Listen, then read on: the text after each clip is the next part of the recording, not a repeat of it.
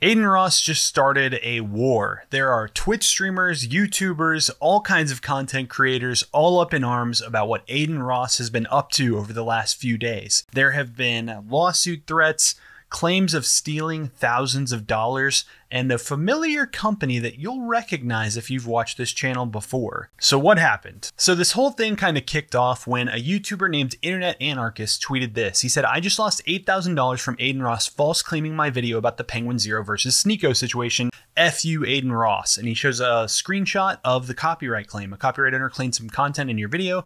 Sneako's horrible response to Penguin Zero. Let's take a look at that video and see if Internet Anarchist was just re-uploading Adin's content or if it was really a commentary video that falls under fair use. So this is Internet Anarchist's video that was claimed by Adin Ross. Adin Ross copyright claimed this entire video, taking all of the revenue from Internet Anarchist's upload, which Internet Anarchist says was about $8,000 this video has about a million and a half views. As you can see, it's heavily edited and I would argue is transformative in its nature.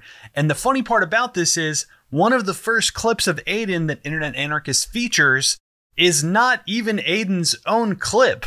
It's Adin Ross talking over a clip of Penguin Zero. So apparently, Adin Ross and his team think that they can just copyright claim clips of Adin Ross saying, hey, we own this, even though he's talking over somebody else's video. It gets even better because when you see who's behind this, it's just the icing on the cake. Internet Anarchist went on to say, the claim was received on my video Sneako's horrible response to Penguin Zero, where I used a stream clip of Adin Ross interviewing Sneako. It was used under fair use grounds and a tiny part of my long video. The revenue from this video was almost life changing money for me. It was one of my most successful videos, so it's a huge shame to have the fruits of my labor taken away from me all of a sudden, especially by someone who literally gets paid tens of millions of dollars to gamble in front of kids. And he's right about that. Uh, Adin Ross recently leaked that he makes about $4 million a month from Kick streaming and uh, basically streaming gambling. So here's the kicker. You ready for this? Def Noodles replied to that tweet saying, Yeah, he's doing this to a bunch of people. A third party company is doing all the claims. Really weird. An internet anarchist replies, Yes, a party named Thumb Media Affiliate, the same people involved in abusing copyright system with speed clips. What? Thumb Media affiliate is stealing people's revenue on their YouTube videos? What a huge surprise. I'm not surprised at all. These people are absolute scumbags. And if you don't know what I'm talking about, I'll give you a really quick, like 20 second recap. This video I made called YouTube's Biggest Copyright Troll just outed himself, showed how iShowSpeed was using the same company, Thumb Media affiliate, to falsely copyright claim people's videos on YouTube. And when I say falsely claim, the reason I'm saying that is they're claiming commentary videos. They're claiming videos that fall under fair use. These are not just people re uploading clips. He got called out. It seemed to have died down for a little bit and now it's bubbled back up to the surface, and it looks like Adin Ross is using the same scummy company to claim videos that they have no right to claim and I believe this is illegal. And it turns out that Internet Anarchist isn't even the first person that Thumb Media has claimed on behalf of Adin Ross. We have a tweet here from Tipster, who does commentary videos, saying that two of his videos got claimed by Thumb Media on behalf of Adin Ross. And again, these are not re uploading, these are commentary videos. And then there's another claim on behalf of Adin Ross from Thumb Media. This is Brion, another commentary YouTuber who got claimed by these people. And then this is the kicker. I think this is the moment that um, Adin Ross went too far. When Thumb Media affiliate went too far. They crossed a bridge that they're not going to be able to go back over because they claimed Hasan, Hasanabi, Twitch streamer. And the reason I say that they shouldn't have done this is because he has enough of an audience and a big enough of a pull that this is getting mainstream attention now. So they claimed Hasan as well. But what they really did that set Hasan off wasn't even the claim against himself. He said in his stream that he was just going to let it slide, whatever, you know, he can make more content and move on but there's a lot of smaller creators who don't have that opportunity. Well, Adin Ross saw Internet Anarchist's tweet where he said Adin stole $8,000 from me, and this was Adin's reaction to that tweet.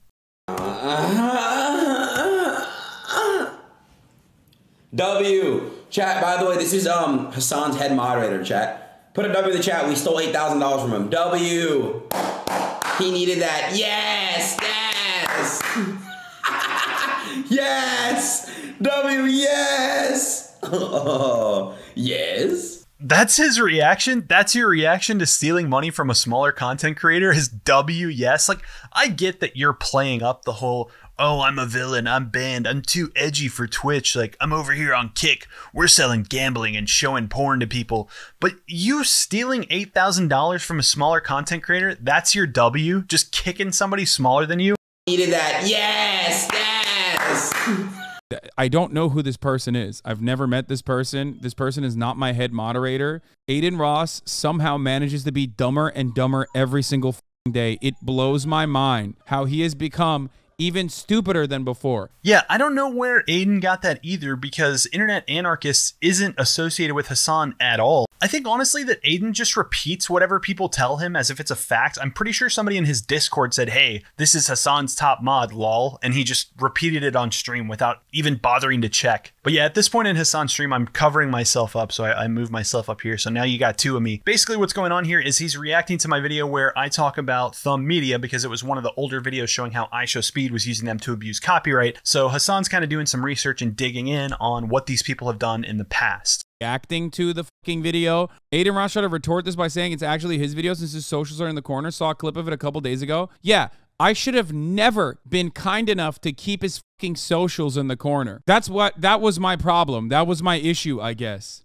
I never signed a fucking release. Suck my cock. I'll see you in court. You stupid yeah, so I mean, I, I think he's actually mad enough to sue him. I, I don't think that these are just empty threats. And I think maybe we've finally gotten people involved who are big enough, have enough influence, who can put a stop to this. The other thing that Hasan brings up later in the stream is that he's literally friends and co hosts of a podcast with the guy who set the precedent for copyright law for cases like this. So this has actually all been litigated before. Ethan Klein, H3H3, and Hila countersued Matt Hoss. He tried to say that them reacting to his content was his content, that they couldn't do it. So he sued them over it and they won. The judge basically said, no, you're allowed to react to people's content. Now, the judge did go on to say the court is not ruling here that all reaction videos constitute fair use. So that is something important to keep in mind. This isn't like a blanket statement. The judge didn't go out and say, hey, everybody on YouTube, just react to everything. You can upload whatever you want. But I do think it sends a strong message to people like Adin and to people like Speed that you are probably legally in the wrong. Like if this ended up going to court, you're probably legally in the wrong, and there are penalties and repercussions for doing false copyright claims and strikes. So let's just keep that in mind as we cover this story. But here's the thing.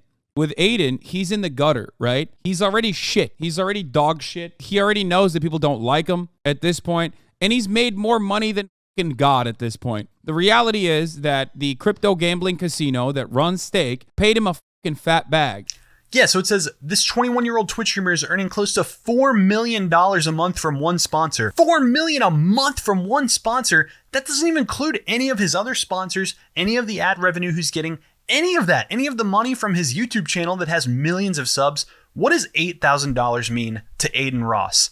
Absolutely nothing. What does $8,000 mean to a smaller YouTuber that has 200,000 subscribers? Internet Anarchist said that $8,000 is life changing money for him. This is either a combination of unchecked greed or just absolute censorship. Like, are you just trying to silence people who you don't like? Is that what this is about? Are you trying to disincentivize them and steal their money? Or do you just really want to put that money in your pocket that bad? Is the eight grand really making that much of a difference to you, Adin? Because if it is, something's up your people are stealing money from you if you really need eight grand that bad. But it gets worse. The problem is copyright law isn't fully definitive on this type of novel collaborative content. I know, which is why he's fing up the bag for himself. That's the point.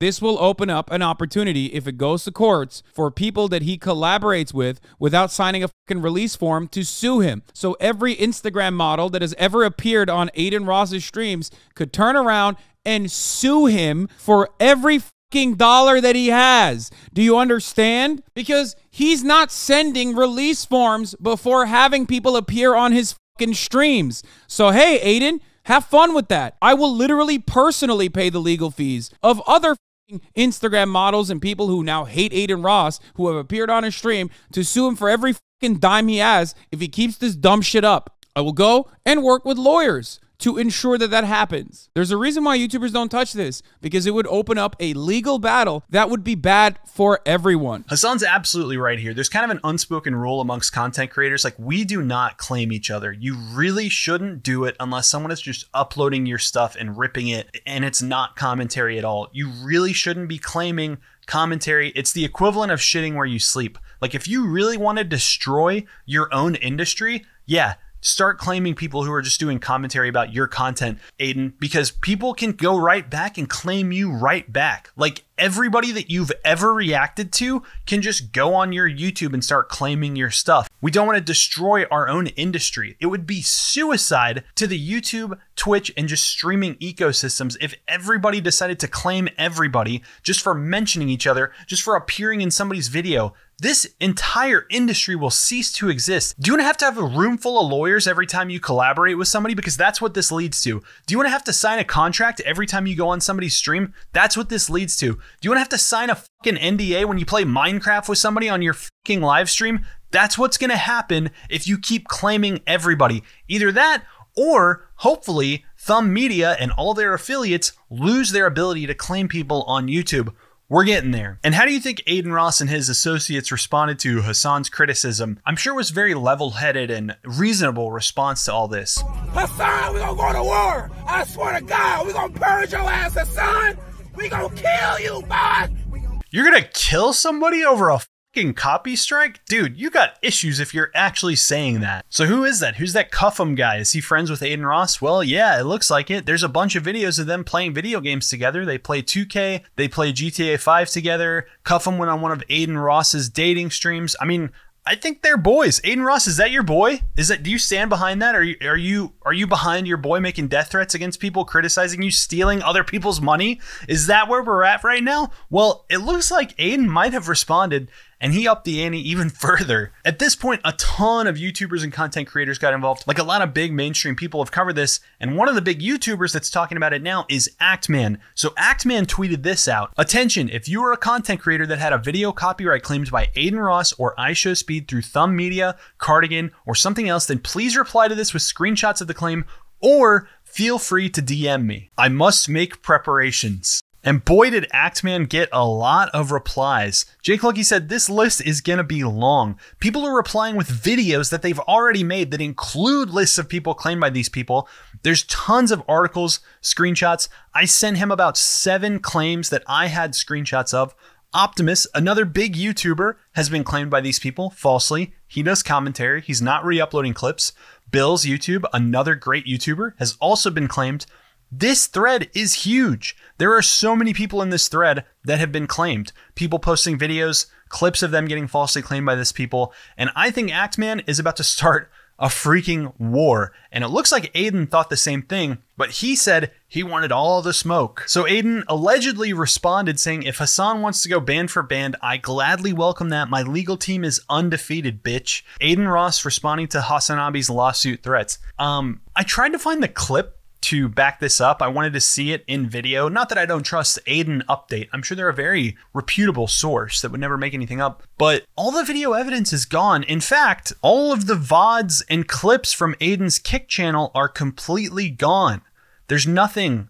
All of this happened in the last three days. The last VOD is four days ago. He has scrubbed this. It is gone.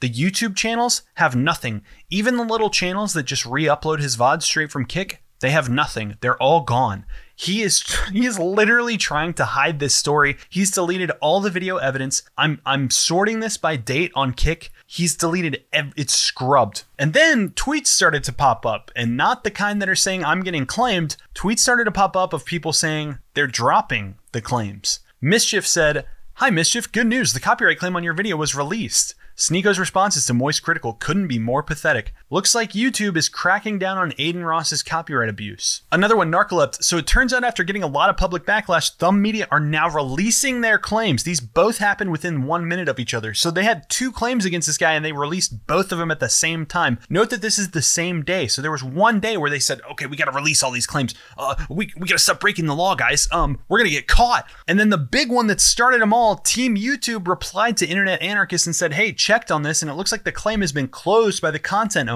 IA quote tweeted it and said Adin Ross folded. Thanks to everyone who helped raise awareness on this situation. From bragging about stealing $8,000 from me to quietly folding behind the scenes, these last few days have been a ride. Video coming soon. Guys, I gotta say, you know what? I- am not even gonna talk to my audience. I'm gonna talk directly to Adin Ross. Adin Ross, listen to me. You're a fucking coward. And I hope that you get everything that's coming to you because this is absolutely cowardly behavior. This is unacceptable. You've got to stop stealing money from people. You're already permabanned off of Twitch. You are losing ground, my friend. The water is rising. You're going to run out of little rat holes that you can distribute content from if you continue to do this. Actman posted a follow up tweet saying, So, after getting some submissions from people whose videos were claimed by IShowSpeed and Adin Ross, I can safely say that these dick nuggets are objectively worse than Quantum TV when it comes to abuse of the copyright system. This is some next level shit, dude. Disgusting. Okay, Jabroney, what's the point? What does it matter? Who cares? He retracted the claims. Drop it, dude. Listen, Google, YouTube, please hear me out. This is an opportunity for you guys to make your system better. You can take this L and turn it into a W. You guys can turn your system into something that's great.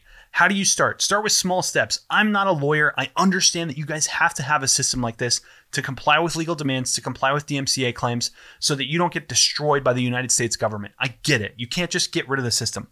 Here's the first thing I would suggest. Please, please, please, for the love of God, if I'm a YouTuber and I get claimed, when I go to that screen where I see the claim, please add a link to the person's website who's claiming me because right now it's just text. It's just plain text that says Thumb Media affiliate. I have no way to verify if that is an actual company that really exists. I have no way to verify that if it is a real company, that it's actually them who's claiming me.